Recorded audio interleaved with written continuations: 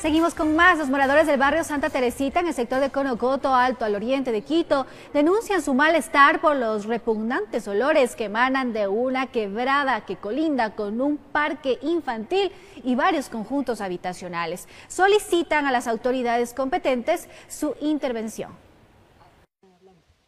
Se trata de la quebrada conocida como Yanahuayco, que prácticamente atraviesa el barrio Santa Teresita de Conocoto Alto, al oriente de Quito. Los moradores denuncian que los olores que de allí emanan hacen de su vida un verdadero calvario. El olor es terrible, eso no, no nos permite, hay que cerrar ventanas, todo para evitar eso.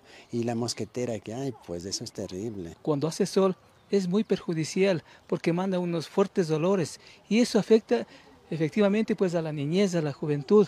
Aseguran que incluso las aguas servidas de algunos conjuntos del sector desembocarían directamente en esta quebrada. Hay un conjunto de acá atrás, unas tres o cuatro cuadras, inclusive también de aquí, de este sector, eh, y, y, de aquí de este conjunto emanan todas esas aguas servidas. Es que vienen las aguas servidas de los conjuntos y desembocan a la quebrada. Y eso es la afectación para nosotros. Yo vivo al fondo, atrás, y, allá es más cruel la contaminación, porque eso va a la intemperie y queremos la solución de esto.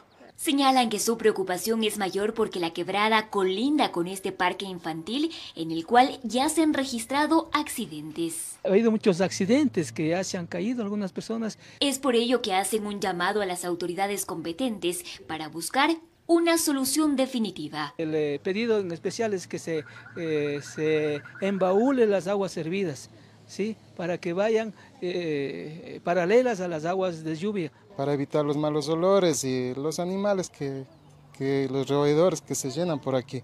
En Quito informó Adriana Rojas.